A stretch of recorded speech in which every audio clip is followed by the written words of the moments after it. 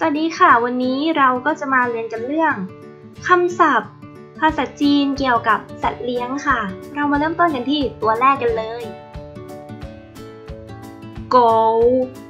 go สุนัขเมาเมาแมว เหนียว เหนียว นก 兔子兔子กระต่าย ชูชูหนู จีจีไก่ห้วนสงห้วนสงและคูณ ชื่อเวยชื่อเวยเมน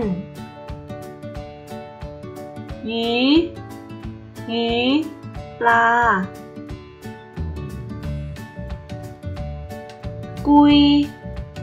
กุย เต่า ต่อมาเราลองมาดูลักษณะนามที่เราใช้เรียกสัตว์กันนะคะ เริ่มต้นกันที่คำแรกเลย คำแรกอ่านว่าจือ จือคำว่าจือนะคะ เราจะใช้กับสัตว์ที่มีขนาดค่อนข้างเล็กหน่อย เช่น สุนัข แมว กระต่าย แล้วก็หนูค่ะ ต่อมาเลยค่ะคำต่อมาอ่านว่า เถียว เถียวคำว่า เถียว ปกติแล้ว แปลว่าเส้นนะคะ พอมาใช้กับสัตว์เนี่ย เราก็จะใช้กับสัตว์ที่มีลักษณะรูปร่างเป็นยาวๆค่ะ ยกตัวอย่างเช่น งู ปลา หรือว่าสุนัขที่ตัวยาวๆค่ะ ผี ผีคำนี้นะคะ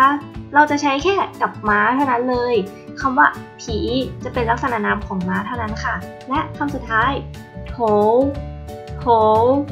คำว่าโถนะคะ เราจะใช้กับสัตว์ที่มีขนาดใหญ่ขึ้นมาหน่อย เช่นวัว ควาย หรือว่าช้างเป็นต้นค่ะ ต่อมาเราลองมาดูบทสนทนาสั้นๆ เกี่ยวกับสัตว์เลี้ยงกันเลยค่ะ你养宠物吗你养宠物吗คุณมีสัตว์เลี้ยงไหม